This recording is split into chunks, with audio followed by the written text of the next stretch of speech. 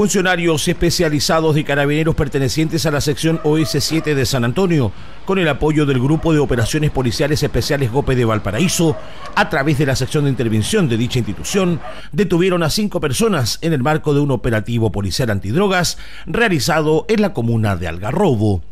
Según los antecedentes aportados por Carabineros a Canal 2 de San Antonio, el procedimiento se realizó en el contexto de una investigación antidrogas efectuada con la Fiscalía del Ministerio Público que consiguió órdenes de entrada y registro para el allanamiento de cuatro domicilios ubicados en el sector denominado Ciudad Azul de Algarrobo.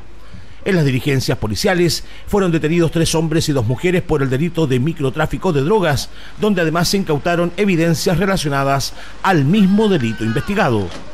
De acuerdo con la información policial, en el operativo se confiscaron 24 bolsas contenedoras de 40 gramos 300 miligramos de clorhidrato de cocaína, 5 envoltorios contenedores de 900 miligramos de clorhidrato de cocaína, 160 envoltorios contenedores de 25 gramos de pasta base de cocaína, 32 gramos de pasta base de cocaína a granel, 13 bolsas contenedoras de 9 gramos 600 miligramos de marihuana elaborada, 18 envoltorios contenedores de 18 gramos de marihuana elaborada, 3 comprimidos de metilindioximetanfetamina, conocido por sus siglas como MDMA, además de 4 bolsas contenedoras de 2 gramos 700 miligramos de ketamina y 231 mil pesos en dinero en efectivo.